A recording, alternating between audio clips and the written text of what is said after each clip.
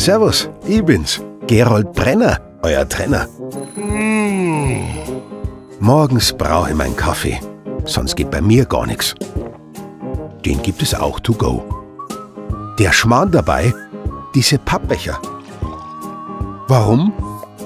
Die Menge ist das Problem. Jedes Jahr landen in Deutschland 2,8 Milliarden Becher im Müll. Das sind 40.000 Tonnen Abfall. Auch die Herstellung verbraucht richtig viele Rohstoffe. 43.000 Bäume. 1,5 Milliarden Liter Wasser.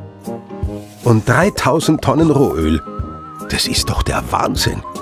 Das verursacht einen CO2-Ausstoß von 111.000 Tonnen im Jahr. Das ist so viel wie eine Kleinstadt mit 12.000 Menschen produziert. Allein in München fliegen jeden Tag 190.000 Becher in die Tonne.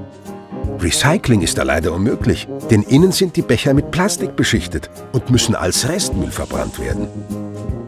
Also macht es lieber gescheit und bringt eure eigenen Becher mit. Ihr könnt auch ein Mehrwegpfandbechersystem nutzen. Oder ihr nehmt euch fünf Minuten Zeit und genießt den Kaffee in der Tasse.